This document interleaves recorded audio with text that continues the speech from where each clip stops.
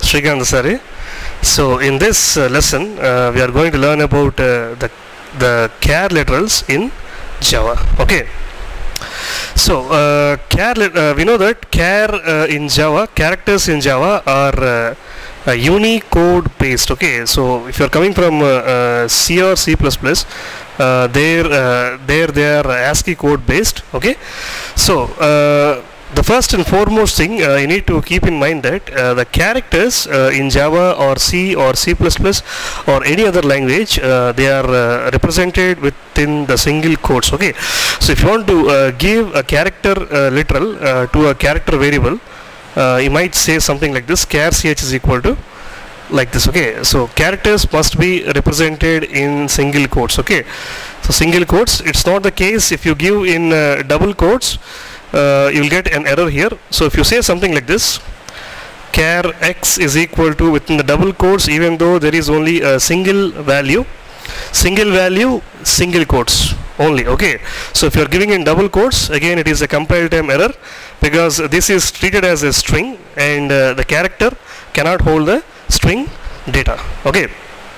So next if you uh, give like this if you say something like this care ab and this is this is also not allowed okay? Because you're supposed to give only uh, one character within enclosed within the single quotes. If you're giving multiple values uh, this is not allowed in java okay? Even though you give single value within the single quotes that is not allowed. If you're giving multiple uh, characters within single quotes also the both of both of them are compile time errors okay so coming to uh, coming in Java or C or C++, uh, characters are always uh, represented with some integral value. Uh, in C or C++, we call those integral values are uh, as ASCII codes. In Java, we co- we call them as Unicode values. Okay. So starting from uh, first 0 to 255. So all the ASCII values are uh, uh, remain the same 0 to 255 all the ASCII values remain the same somewhere around uh, 65 means it is capital A uh, 97 means uh, small a. Like this you know if you are coming from uh, C or C++ background. And starting from 256 um, starting from 256 we have up to 65,000 65,535 total 65,536 characters are supported uh, by Java and you have uh, universal language support somewhere around uh, there there might be a Telugu letter or a Hindi letter or a Chinese uh, character something like this okay and all these things have their corresponding Unicode values uh, Unicode values if you go to the uh, website www. unicode.com www.unicode.com there you find all the unicode values and if you supply that unicode value and if you declare uh, some variable char z is equal to if you give some uh, 30000 or uh, something like this this this is a, this might be a unicode value for some international language whether it might be a persian or french or whatever it is. And if you have uh, that font installed in your system automatically that character gets printed on your screen okay? So if you say something like this sop ln of uh, z 100% that unicode character will get will be printed here okay? So if you don't have if you don't have the font and automatically the question mark appears okay? Because if you don't have that font installed uh, on your system the question mark will appear. And you don't you should not think that this is the question mark unicode value is this one. Okay so that is not the case here. Okay. And also if you are uh, uh, you can give not only in uh, decimal form uh, you can give uh, the the values of uh, to the character in decimal form also. So, okay. So you can give something like this 0x uh, 1 f f or something like this okay? So 100% valid uh, because uh, this is the decimal sorry hexadecimal representation of some uh, decimal value and that is also valid here you can give that also.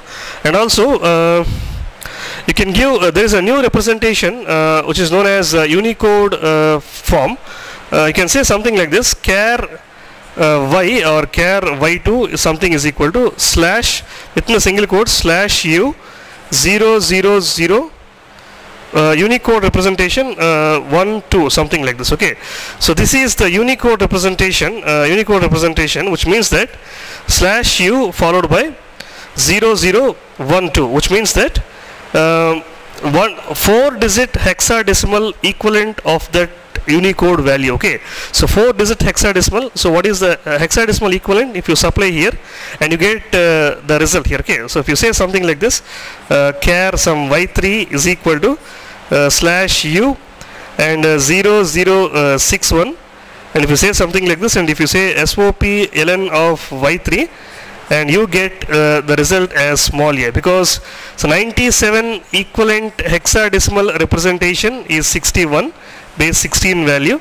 So you have to give in four digits. So remaining two digits are uh, kept as zeros. And if you give something like this you get uh, the result as the equivalent uh, unicode character will be printed. Okay. So there are uh, so many different ways to give value uh, to to supply the unicode value. You can give in hexadecimal form either in octal form or uh, unicode form. So many different forms are there. Okay.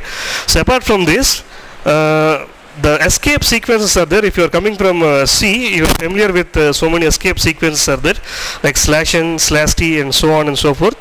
So all those things can are also 100% valid uh, character constants only or character literals only. Char ch2 something like this.